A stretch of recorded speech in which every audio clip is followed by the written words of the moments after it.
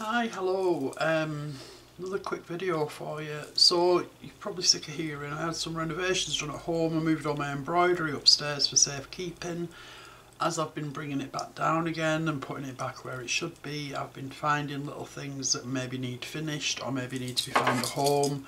So this is another one of those situations. Um, so what I found was this little page of stitch paper so these are artist's tissue papers, uh, Japanese tissue papers that I stitch and then I work on them. And these are some little books that I made. Now you probably, well it's been a while since they were on my blog, but I made these little books with the papers. Um, I always try and have a stash of stitched tissues. Um, the Japanese tissues, they're not like the tissue paper you would buy to say scrunch up and put in a gift bag. They're a little bit more substantial than that, but still very, very fragile. They respond to stitch beautifully. This is another one. Okay. Um, so you get the gist. You get the gist. So then I found this little page that wasn't finished. Um, we went blurry there, didn't we? I don't know why. So what was happening on here when I was putting things away, it was literally, well it didn't have this and it didn't have this. So I've added that and that um, and I want to do more to that. So I've wrapped some little thread spools um, to put one of them on here and I'm thinking I might put that one on. So how I attach that is more stitch paper, uh, stitch tissue, because it's quite tricky to stitch these down to be fair. Now you need, this is stitched okay and if it, you just tear it but if it doesn't come away Use your paper scissors to cut it because there'll be paper fragments in here, in this stitching. So you don't want to be using your good embroidery scissors, okay. Um, so what I tend to do with these, try to do with these anyway, is put this around the middle. Too big. Take a bit more off. Too wide, if that makes sense. Don't want it to hide the thread, just want it to be used as an anchor. So I'll put that in the middle, okay. I've got some coton à broder here threaded on the needle and stitch this round the tube to secure the tube. It's almost like in a little pocket in a little sleeve.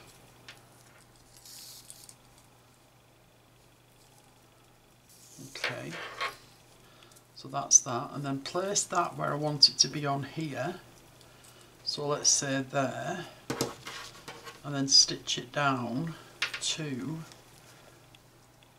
what's underneath. Little wrap around. It always does without fail. Fiddly, fiddly. I never said it wouldn't be fiddly. Okay, so that's one stitch and come up again. I want it to be straight obviously. Okay, um, so I'll go down again and I think that should uh, suffice. So there, so not only have I got a little tube of thread study colour, colour study thread whatever there, I've also got more texture on there so just go to the back and fasten it off, okay? And then this can be added, this page can be added to one of these little books um, when it's finished. And I'll explain to you how I'll do that in a second. Just fasten that off. Okay. So this bit here, oh see it's moving, never mind. No, there, stay, stay. So this bit here, I'll literally just run in stitch that on. It's like a little tab hanging out the bottom. It's just adding texture and interest and yeah, just interest and little snippets of things to these books, to these pages, purely for aesthetic reasons. Um, but I did start a piece, like almost like a paper wrapping cloth using this process. You've seen it before, it's on a video on here somewhere. This one. So everything's inspired by everything else around here.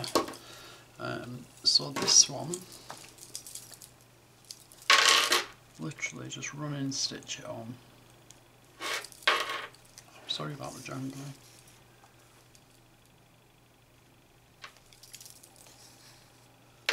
Like that.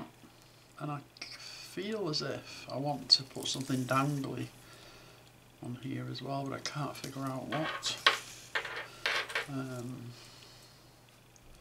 I mean the sequins on this page, I could maybe dangle some sequins or some beads. But I'll take that under consideration. I won't consider this page finished yet. I'll consider it a work in progress. Because I do know that I want to add something else, but I'm not quite sure what. Um, and I'm thinking dangly from here. Um, so anyway, there's no rush, I'm not in any rush. So that's that secured now, the little lower tab at the lower edge. It's just playing for playing's sake and I think that's the best part of all of this isn't it because you get ideas when you're doing things like that. So fasten that off. Fasten that off. Okay.